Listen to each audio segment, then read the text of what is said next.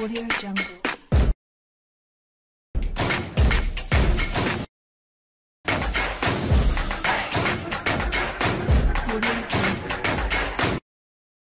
Sobat Smash Sport kembali hadir menyapa Anda. Semoga selalu dalam keadaan sehat dan rejeki yang berlimpah. Bersama Smash Sport akan memberikan berita-berita teraktual bola voli. Kalahkan pemuncak klasemen, Megawati kabulkan setengah permohonan legenda Korsel. Berikut berita informasi update-nya untuk Anda. Pebola voli putri Indonesia, Megawati Hangestri Pertiwi, secara tidak langsung menolong pemain legendaris Korea Selatan, Kim Yeon Koung, dalam pertandingan terkininya.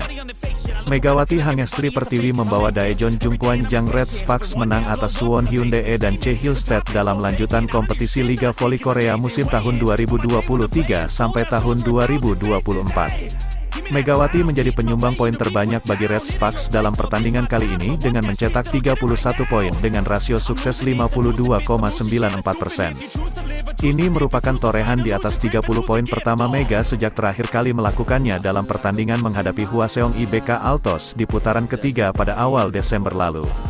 Adapun saat terakhir kali bermain 5 set dengan Hyundai E dan Che Hillstead pada bulan yang sama, Mega mencetak 28 poin dengan rasio sukses 50%. Bagi Red Sparks, raihan 2 poin dari kemenangan terkini makin mendekatkan mereka ke babak playoff. Masih tertahan di peringkat keempat, Red Sparks setidaknya memangkas jarak poin dengan tim peringkat 3, GS Caltex Seoul Kicks, menjadi 2 poin saja. Apabila jarak poinnya hanya 3 poin atau kurang, tim peringkat 3 dan 4 pada akhir musim reguler akan diadu dalam babak semi playoff. Red Sparks sendiri belum pernah lolos ke babak playoff lagi sejak musim tahun 2016 sampai tahun 2017. Di sisi lain, keberhasilan Red Sparks mengalahkan Hyundai E dan C memanaskan persaingan untuk posisi pemuncak klasemen. Hanya menambah satu poin, Hyundai E dan C tidak dapat melebarkan poin lebih jauh lagi dari pesaing terdekat mereka yaitu Incheon Hankook Live Pink Speeders. Sama-sama mengemas 20 kemenangan hingga kompetisi telah berlangsung 5 putaran. Hyundai E dan C unggul 6 poin dari Pink Speeders. Pemenang musim reguler akan mendapatkan keuntungan lebih besar karena sudah dijamin satu tempat pada pertandingan perebutan gelar. Sementara tim peringkat 2 terlebih dahulu harus menghadapi tim peringkat 3, 4 dalam babak semifinal dengan format best of 3. Dalam hal ini, Megawati sedikit mengabulkan permohonan Kim Yeon Koung, ikon bola voli negeri Ginseng yang masih awet memperkuat Pink Speeders. Dalam interaksi mereka di sela-sela All-Star Game pada tanggal 27 Januari lalu, Kim Yeon Koung sambil bercanda meminta Mega untuk bermain baik dengan tim selain Pink Speeders. Main bagus, dengan tim lain, tetapi bukan dengan Pink Speeders, oke, ujar mantan pemain terbaik Liga Champions Eropa CEV itu dengan ekspresi serius. Setelah menunjukkan ketidaksetujuannya, Mega menimpali pemain idolanya tersebut sambil tertawa. Enggak, dengan semua tim, aku ingin bermain dengan bagus. Kim Yeon Ko masih mencoba membujuk Mega.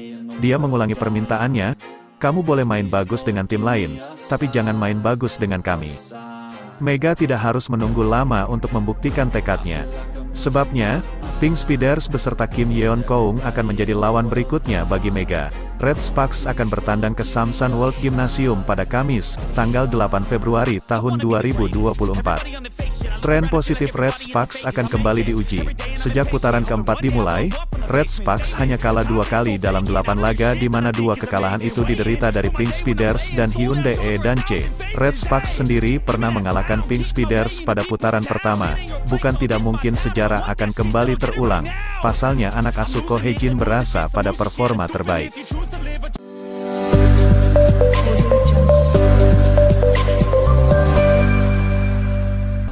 Lee Da-hyun belakangan ini semakin dikenal masyarakat pecinta bola voli di Indonesia. Atlet bola voli Korea Selatan, Lee Da-hyun, bahkan banyak diidam-idamkan oleh warganet se-Indonesia. Selain jago bermain bola voli, Lee Da-hyun juga pandai menari dan berparas cantik bak bidadari negeri gingseng. Seperti dilansir Smash Sport dari LombokInsider.com, setelah diisukan tidak respek dengan Megawati, Lee Da-hyun mengakui akhirnya dirinya mengagumi sosok Megawati. Usai bertemu di studio All Star, Lee Da-hyun mengaku ngefans dengan Megawati, dan mereka pun menunjukkan keakraban. Di sebuah postingan video terlihat Megawati bercanda dengan Lee Da-hyun, yang pernah menjadi korban spike kerasnya itu. Ilustrasi itu menggambarkan Megawati Hangestri Pertiwi benar-benar mampu beradaptasi dengan baik di Liga Voli Korea Selatan. Saat pertandingan All-Star Liga Voli Korea Selatan itu, Megawati tampak bercanda dengan Lee Da-hyun dan Kim Da-in. Padahal jika ditarik agak sedikit ke belakang, Lee Da-hyun dan Kim Da-in termasuk salah satu korban spike keras Megawati. Benar sekali, middle blocker nan cantik itu juga terlihat memegangi wajahnya, tatkala menjadi korban smash petir Megatron. Tepatnya pada Desember tahun 2023, ketika Hyundai Hillstead mencukur Red Sparks, namun smash petir Megatron mengenai pipi Lee Da-hyun. Alhasil, dalam pertandingan tersebut, Lee Da-hyun harus ditarik keluar lapangan dan digantikan oleh rekannya. Ternyata hal yang sama juga dialami Kim Da-in, saat Hyundai Hillstead kalahkan Jung Kwan yang Red Sparks di pertengahan bulan lalu. Megawati Hangestri Pertiwi telah menjadikan setter timnas voli putri Korea Selatan itu, sebagai bulan-bulanan. Pada waktu itu, spike keras Megawati menghajar pundak kanan Kim Da-in. Kim Da-in sempat membuat pernyataan bahwa bagian di punggungnya yang terkena smash terasa pegal. Iya, kena smash Megawati dan Milana, Smash Milana tidak sakit, tapi smash Megawati yang mengenai bau kanan cukup pegal rasanya, kata Kim Dain. Meskipun demikian, kedua insiden itu tidak mempengaruhi pertemanan mereka dengan Megawati maupun Giovanni Milana. Lebih lanjut, Marcelo Abodanza juga mengagumi smash Megawati yang tak mampu diblok lawan. Hingga saat ini, Megawati, atlet voli putri kebanggaan Indonesia itu semakin menjadi sorotan di Liga Voli Korea Selatan. Sejak awal datang ke Korea Selatan pada akhir Juli tahun 2023, Megawati telah mencuri perhatian karena mengenakan hijab saat bertanding di lapangan. Sorotan itu berlanjut seiring prestasi gemilangnya meraih MVP di putaran pertama, dan menjadi pendulang poin bagi tim Jungkwan yang Red Sparks. Tak heran jika gadis Jember, kelahiran tanggal 20 September tahun 1999 itu membuat banyak media terus mengikuti kiprahnya di Korea Selatan.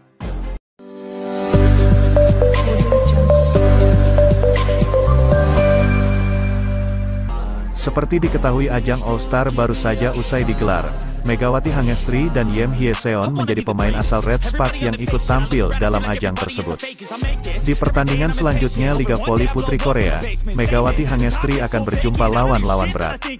Namun demikian, pemain asal Jember Jawa Timur ini tidak ingin kehilangan poin, apalagi sampai kalah agar Red Sparks bisa bertahan di posisi empat besar klasemen Liga Voli Putri Korea.